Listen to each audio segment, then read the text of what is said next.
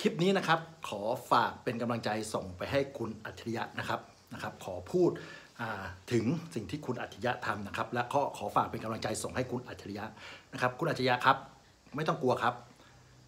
สิ่งที่คุณอัจฉริยะทำนะครับ ดีฝ่าที่หลาย ๆ คนไม่ได้ทำอะไรเลยนะครับ แน่นอนครับว่าสิ่งที่คุณอัจฉริยะทำเนี่ยมันเกินหน้าเกินตาของหลาย ๆ คน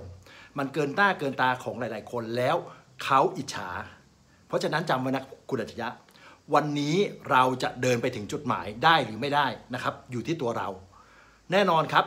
ทางเดินที่เราเดินไปนะครับฝ่าจะถึงจุดหมายจะมีเสียงนะครับ หมาที่คอยเห่าอยู่ข้างทาง และเห่าตลอดเวลา เพราะไอ้หมาพวกนี้มันไม่เคยทำอะไรอยู่แล้วนะครับ มันดีแต่เห่านะครับ คนที่ทำคนที่ลงมือทำแล้วเห่าอย่างเดียว ถ้าเรามัวแต่เสียเวลานะครับ ไปสนใจไอ้พวกหมาพวกนี้เราก็จะเดินไม่ถึงจุดหมาย วันนี้สิ่งที่คุณอัจฉริยะทำผมเข้าใจนะครับ สิ่งหนึ่งผมไม่รู้หรอก ผมเองก็ไม่รู้เหมือนกันว่า สิ่งที่คุณอัจฉริยะทำสิ่งที่คุณและค้นหาคุณสิ่งที่คุณอัจฉริยะเสียเวลามาทั้งหมดเนี่ยนะครับ มีทั้งหลุดออกไปบ้าง ดีบ้างอยู่ในประเด็นบ้างอะไรหลาย ๆ อย่าง แต่สิ่งหนึ่งซึ่งผมเห็นก็คือเจตนาที่คุณอัจฉริยะทำนั่นก็คือ แสดงให้เห็นว่ามันมีข้อพิรุธอะไรหลาย ๆ อย่างข้างในคดี ถึงแม้กระทั่งว่าหลักฐานทั้งหมดที่คุณอัจฉริยะได้มาเนี่ย มันจะไม่สามารถไปอยู่ในสำนวนคดีได้ เพราะมาอยู่ที่ตำรวจ นะครับตำรวจจะเอาใส่หรือไม่ใส่เนี่ยมันไม่เกี่ยวนะครับ อยู่ที่ตำรวจเลย จะเอาไปให้ยาการก็ไม่ได้ครับ เพราะว่าคุณอัจฉริยะเองไม่ได้มีส่วนได้ส่วนเสียของคดี เพราะจริงๆคันนี้คุณอัจฉริยะไม่จำเป็นต้องทำเลย ถ้าไอ้คนที่มีส่วนได้ส่วนเสีย มันมีจิตสำนึกของความเป็นคน มันมีจิตสำนึกของหน้าที่มัน มันจะต้องเป็นคนทำเอง ไม่ใช่ให้คุณอัจฉริยะมาทำแต่วันเนี้ยผมไม่รู้หรอกว่าสิ่งที่คุณอัจฉริยะทำเนี่ยมันจะมีผลตรงไหน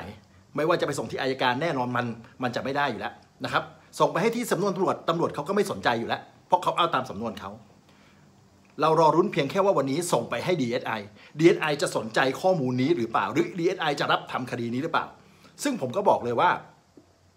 DSI จะรับหรือไม่รับสำหรับผมวันนี้ ผมไม่ได้สนใจเลย เพราะถ้า DSI ไม่รับก็ดีครับ จะได้รู้ว่าวันนี้ความยุติธรรมข้างในประเทศไทย มันแทบจะไม่เหลือแล้ว หรือคดีนี้มันจะออกมาเป็นไง เราจะได้รู้กัน แต่สิ่งหนึ่งซึ่งคุณอัจฉริยะทำเนี่ยทำให้ประชาชนหลาย ๆ คนเนี่ยได้เห็น ขบวนการยุติธรรมต้นน้ำขบวนการยุติธรรมทั้งหมด ขบวนการสืบสวนสอบสวนทั้งหมด คุณอัจฉริยะทำให้ประชาชนได้หูตาสว่างได้เพิ่มมากขึ้นทำให้ประชาชนรู้อะไรเพิ่มมากขึ้น นี่ต่างหากที่พวกเราต้องการ เพราะถ้าถามวันนี้ไม่มีคุณอัจฉริยะ พวกเราประชาชนทุกคนจะรู้ข้อมูล หลาย ๆ ข้อมูลไหม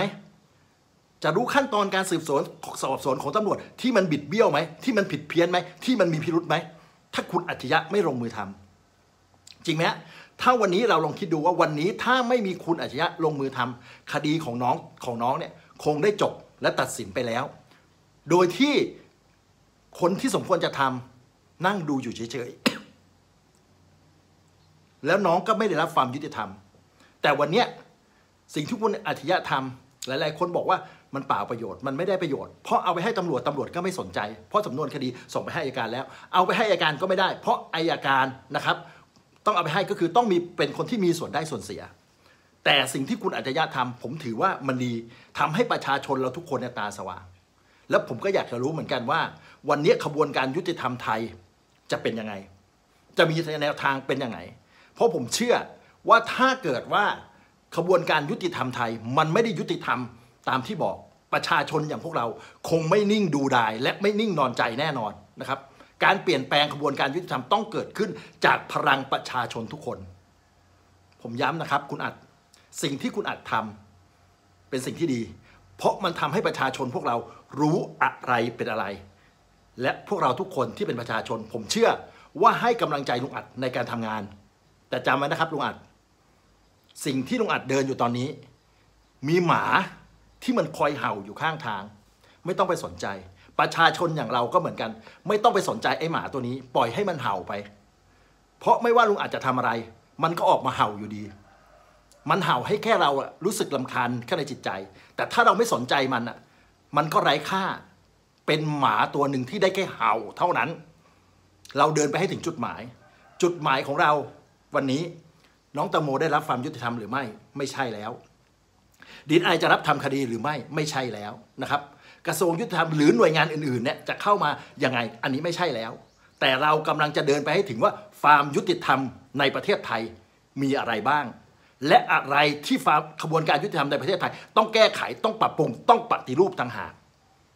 ผมถือว่าสิ่งนี้มันสำคัญมากฝ่า แน่นอนครับทุกคนอยากให้น้องได้รับความยุติธรรม แต่ขบวนการยุติธรรมไทยต้องกลับมาสู่ประชาชนทุกคน วันนี้เราต้องเริ่มตั้งแต่ตรงนี้ สิ่งหนึ่งที่ลุงอัดทำให้เราเนี่ยเห็นได้ชัดเจนแล้วก็คือความยุติธรรมที่มันบิดเบี้ยวอยู่ตอนนี้ ระบบที่มันบิดเบี้ยว ระบบที่มันเพี้ยน ระบบที่มันมีพิรุษระบบที่มีช่องทางให้ตำรวจชั่วๆตำรวจเร็วหรือข้าราชการเร็วๆเป็นช่องทางทำมาหากินมันมีอยู่ ลุงอัดทำให้เราเห็น เพราะฉะนั้นผมบอกเลยว่าประชาทุกประชาชนอย่างพวกเราทุกคนไม่ยอมแน่กับเรื่องนี้ เราจะดันทุกอย่างเพื่อแก้ไขระบบที่มันเน่าเฟะอยู่ในสังคมไทยให้ดีขึ้น มันอาจจะยาก ผมบอกเลยมันอาจจะยาก แต่ถ้าเราไม่เริ่ม แล้วเมื่อไหร่มันจะสิ้นสุด จริงไหมฮะ วันนี้เราต้องเริ่มทำทีละเล็กละน้อย ทีละเล็กละน้อย อนาคตมันก็ต้องเห็นผลอยู่ดี อยู่ที่พวกเราประชาชนทุกคนเนี่ยจะร่วมกันหรือเปล่า อาจจะไม่ได้เห็นผลในรุ่นเรา แต่รุ่นลูกรุ่นหลานเราก็ได้รับความยุติธรรม ดีฝ่าวันนี้เราไม่คิดจะทำอะไรเลย สู้ไปด้วยกันครับ คนที่รักความยุติธรรม สู้ไปด้วยกันครับลุงอัด วันนี้ประชาชนหลายคนยังอยู่เคียงข้างลุงอัด สู้ไปด้วยกันครับ พวกเราต้องไม่ยอมแพ้ ต้องให้ความยุติธรรมมีเกิดการเปลี่ยนแปลงในขบวนการยุติธรรมแน่นอนครับ